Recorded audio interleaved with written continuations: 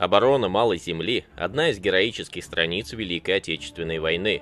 Малая Земля – это клочок суши, отвоеванный у немцев в ночь на 4 февраля 1943 года южнее Новороссийска. Героическая оборона этого плацдарма длилась 225 суток и закончилась полным освобождением города от захватчиков. В бушующую зимнюю ночь на западный берег Цемесской бухты в районе станички высадился десант морской пехоты под командованием майора Цезаря Куникова. Морпехи быстро выбили врага из своих позиций, при этом потеряв убитыми и ранеными всего четырех бойцов. Но это было только начало. Утром немцы начали атаки группы Куникова, пытаясь сбросить дерзких морпехов обратно в море.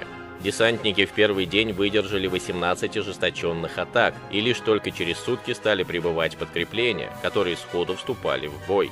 Немцы также, подтянув резервы, шли в новые атаки. Непрерывные яростные бои на плацдарме длились 7 суток, и понеся страшные потери, немцы поняли, что победить десантников уже не удастся. Они блокировали плацдарм и стали наращивать силы для проведения уже крупномасштабной операции –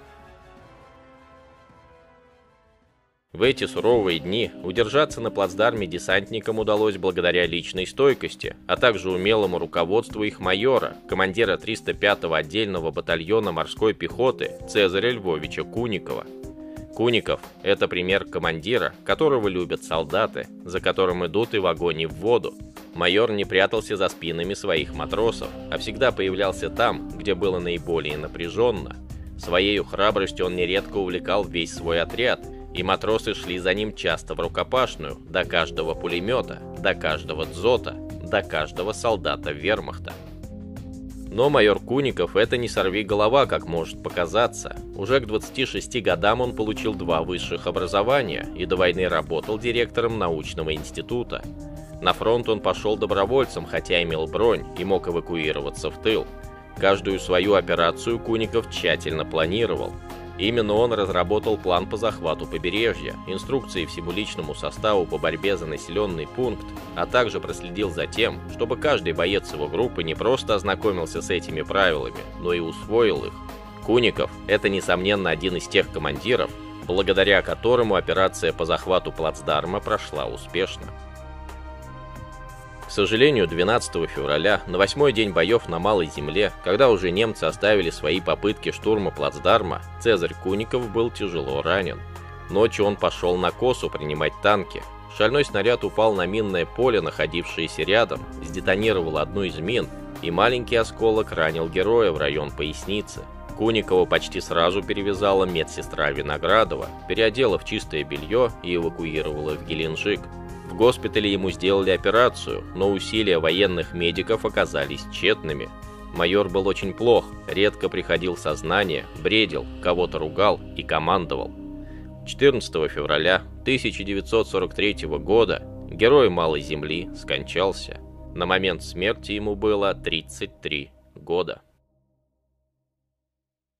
Отчаяние распространилось среди бойцов 305-го отдельного батальона. Это были матросы, закаленные в боях, научившиеся не замечать утрат, но в этот момент каждый из них почувствовал себя сиротой.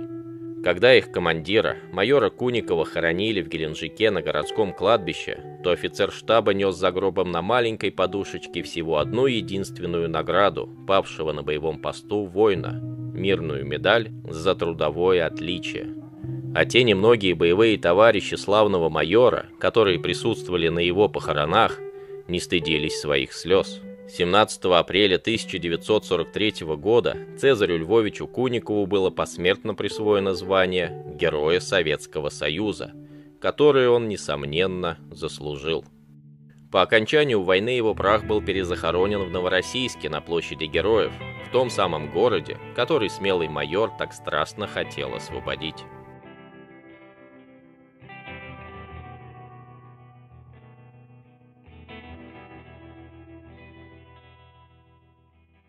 15 июля 1941 года, когда группа армий «Центр» штурмовала Смоленск, а группа армий «Юг» — Киев, в районе Новороссийска, пока еще в глубоком тылу для защиты Цемесской бухты со стороны моря, началось строительство новой береговой батареи.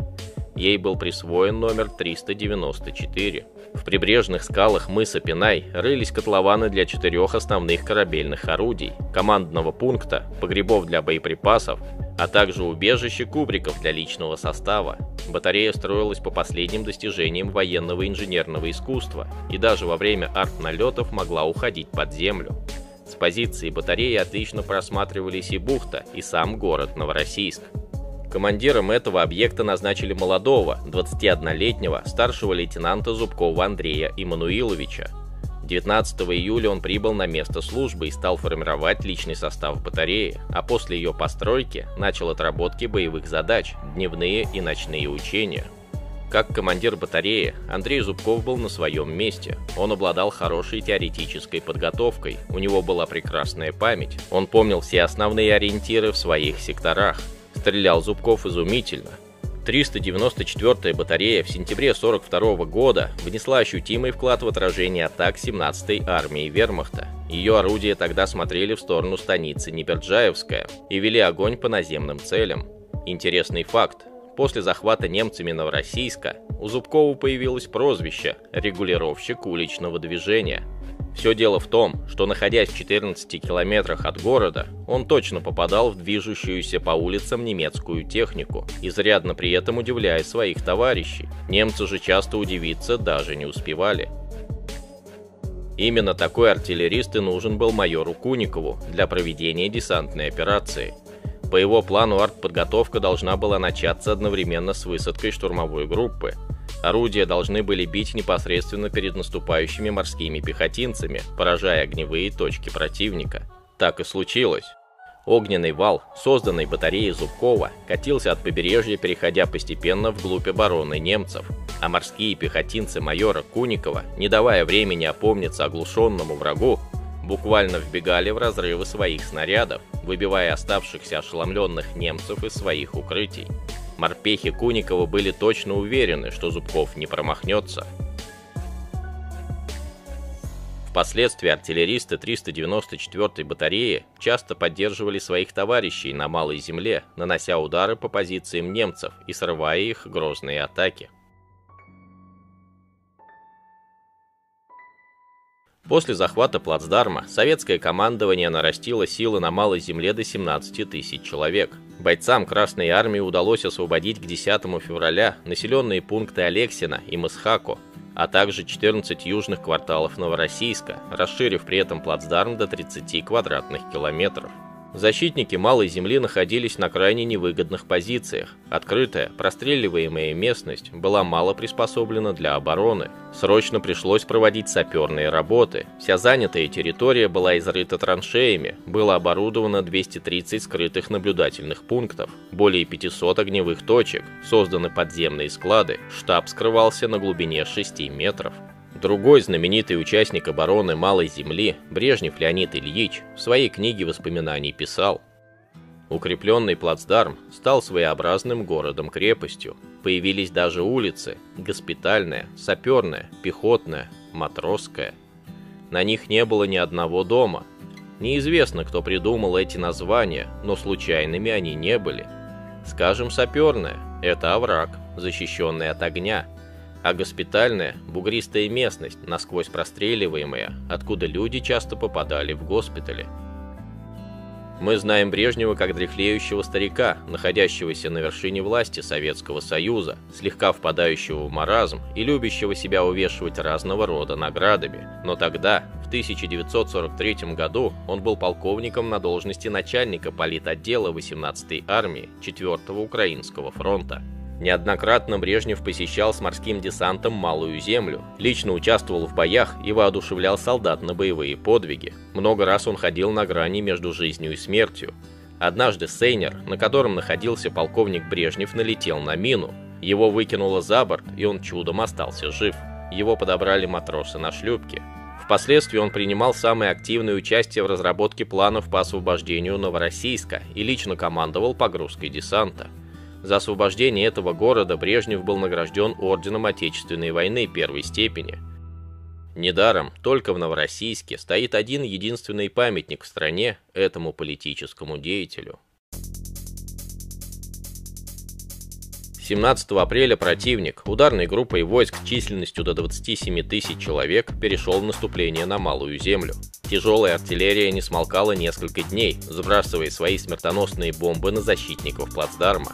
Пехота при поддержке танков предпринимала одну атаку за другой.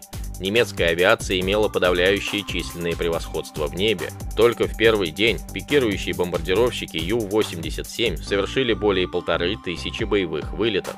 На море действовали торпедные катера и подводные лодки, группа под названием «Бокс». Ей было приказано перерезать коммуникации и уничтожать отступающие с плацдарма советские войска. В эти дни батарея Зубкова не смолкала практически ни на секунду, парируя атаки врага. Ни один вражеский корабль не смог приблизиться к Семесской бухте. Когда же немецкие катера отступали, орудия разворачивались в сторону наступающей пехоты вермахта и часто срывали ее атаку. Защитники Малой Земли в эти тяжелые дни сражались упорно, но и на них нередко находило отчаяние и апатия. Замполиту Брежневу приходилось в это время быть на передовой, поднимая боевой дух солдат.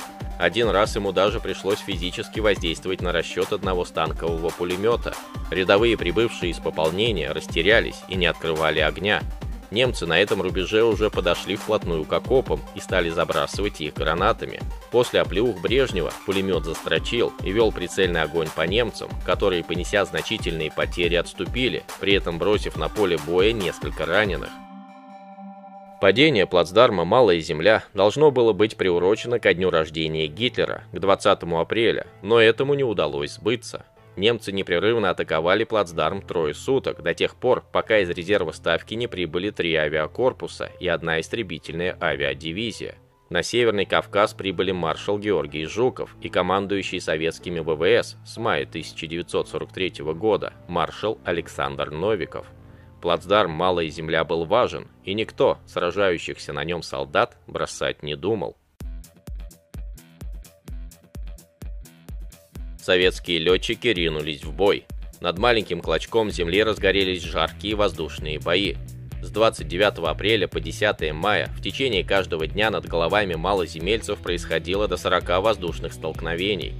Генерал-майор Савицкий Евгений Яковлевич, командующий третьим истребительным авиакорпусом 8-й воздушной армии, не раз вылетал вместе со своими пилотами прикрывать малоземельцев от юнкерсов. Не мог усидеть на земле генерал, когда бои шли за его родной город. Находясь со своим ведомым Семеном Самойловым выше боя, Савицкий координировал действия пилотов, руководил боями, выявлял просчеты своих подчиненных, а также недостатки в тактике противника и отыскивал нужные решения на будущее. Если того требовала ситуация, Евгений Савицкий вступал в бой. Однажды, находясь выше ударной группы Яков, связавших боем гитлеровские бомбардировщики, самолеты генерала и его ведомого атаковала четверка мессершмиттов. Переворотом через крыло Савицкий ушел из-под трассы и полез вверх. Самойлов в это время связал боем два немецких истребителя. Набрав высоту, генерал перешел в пике и смог достать один из мессершмиттов очередью из своего пулемета. Вражеский истребитель задымил и ушел со снижением. Такие самолеты, которые неизвестно упали или добрались до своего аэродрома, генерал себе на счет не записывал. Немцы же, поняв, что, как говорится, не на тех напали, испарились. В другой раз, когда основная группа Яков связала боем Мессершмитта противника, и юнкерсы остались без прикрытия, генерал решил, что пришло время атаковать. Вместе с Самойловым они врезались в группу бомбардировщиков. Враг встретил их сплошной стеной огня. Воздушные стрелки юнкерсов старались вовсю, но Савицкий, прежде чем его сбили, успел поджечь два самолета противника. Колонна юнкерсов развалилась и потеряла строй, и в этот момент в нее врезались яки, которые к этому времени уже разделались с мессершмиттами. Савицкий тянул свою горящую машину до последнего в сторону советских войск, а Самойлов прикрывал своего командира. Немцы охотно расстреливали выбросившихся с парашютом летчиков в воздухе, да и в случае приземления необходимо было засечь место, чтобы легче было найти пилота. Савицкий приводнился с парашютом недалеко от восточного берега Цемесской бухты и был подобран матросами катера. В сентябре 1943 года пришло время попробовать на зубок и немецкую оборону. За время оккупации Новороссийск был превращен саперами вермахта в город-крепость. На подступах к нему были созданы пять линий траншей и система дотов. Также город прикрывали сплошные минные поля, В черте города было построено более 500 оборонительных сооружений. Подходы с моря прикрывались береговой артиллерией, минометными и пулеметными точками.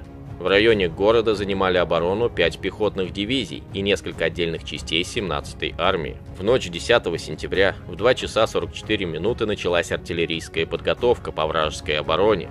С восточной стороны Цемесской бухты били 800 орудий и 227 установок реактивной артиллерии. Высадку десанта под прикрытием 148 самолетов производили прямо в порт Новороссийска. Немцы также отвечали сильным артиллерийско-минометным огнем и даже смогли сорвать высадку второго эшелона. Высадиться в порту удалось двум отрядам, которые, закрепившись, связали часть немецких сил боем в это время в районе цементного завода перешли в наступление основные силы 18-й армии. Целые сутки советские войска не могли взломать немецкую оборону, но переведя огонь артиллерии на позиции немцев у цементного завода и подведя к нему дополнительные резервы, к 6 часам 11 сентября немецкая оборона была прорвана. Критическим в это время оказалось положение десанта, который вел ожесточенные бои в районе вокзала и элеватора – Немецкая пехота при поддержке танков, стремясь уничтожить морских пехотинцев, переходила в яростные атаки. В этих боях ярким лучом сияет подвиг морпехов под командованием Батылева Василия Андреевича. Это снова был Куниковский отряд. Батылев возглавил его после смерти Цезаря Львовича и теперь должен был доказать право командовать этими героическими матросами. 35 десантников Батылева, захватив здание клуба моряков, в течение пяти дней без пищи, воды и при острой нехватке боеприпасов вели ожесточенную оборону в условиях окружения. Несколько раз Батылев вызывал огонь береговой артиллерии на себя, и Зубкову приходилось, скрипя сердцем, накрывать позиции капитан-лейтенанта огнем своих орудий. После освобождения Новороссийска Батылев за этот подвиг также был награжден Героем Советского Союза. История Малой Земли закончилась 16 сентября 1943 года, когда с этого плацдарма малоземельцы перешли в наступление, прорвали оборону противника в районе Станички и освободили город. Через Малую Землю за все время ее обороны прошло почти 79 тысяч человек. Часто при острой нехватке боеприпасов, голодные и умирающие от жажды бойцы удержали свой плацдарм, показав всему миру стойкость духа и вершину возможностей советского человека. Батылев Василий Андреевич после окончания войны продолжил службу в военно-морском флоте. В 1956 году уволился в звании капитана третьего ранга и вернулся на родину в Москву. Советский Евгений Яковлевич стал дважды Героем Советского Союза. В 1955 году окончил Высшую военную академию имени Ворошилова и дослужился до заместителя главнокомандующего войсками ПВО СССР. Зубков Андрей Эммануилович после победы над Германией со своими артиллеристами воевал с Японией на Дальнем Востоке. После окончил военно-морскую академию в городе Ленинграде и переехал на постоянное место жительства в полюбившийся ему Новороссийск. В 1997 году за заслуги перед городом Зубкову было присвоено звание почетного гражданина города-героя Новороссийска. Ну а Брежнев Леонид Ильич закончил войну в звании генерал-майора, был ранен и после войны принимал участие в параде Победы на Красной площади. До конца жизни генеральный секретарь ЦК КПСС с теплотой вспоминал Малую Землю и даже написал книгу с одноименным названием.